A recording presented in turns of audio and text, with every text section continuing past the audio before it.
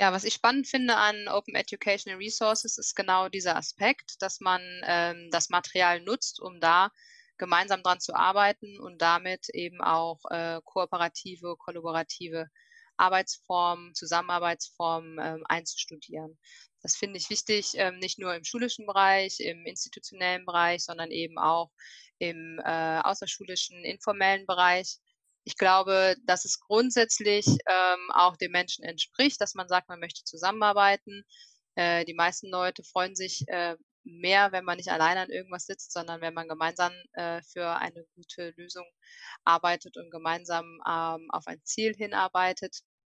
Da finde ich eben, sehe ich das Potenzial von Open Education Resources, ähm, dass sie eben Leute zusammenbringen können und äh, man gemeinsam überlegt, welche verschiedenen Perspektiven sind zu berücksichtigen.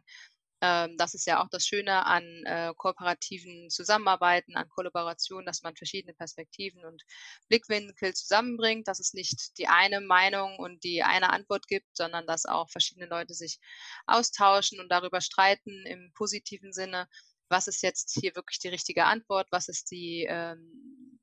die, die bessere Antwort, wie kann man etwas noch präziser formulieren, sodass eben auch äh, verschiedene Blickwinkel berücksichtigt werden.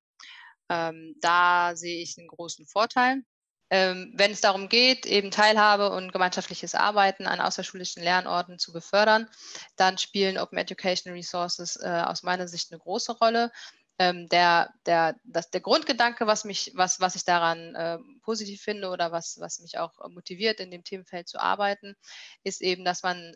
bei Bildungsmaterialien nicht fragt, wem gehört das ähm, und darf ich da jetzt irgendwie was zu sagen, sondern dass man sagt, was ist das und wie kann ich es besser machen? Also, dass man Dinge auch ähm, produktiv nutzt und anpackt äh, und Open Education Resources in, insofern auch eine Einladung sind,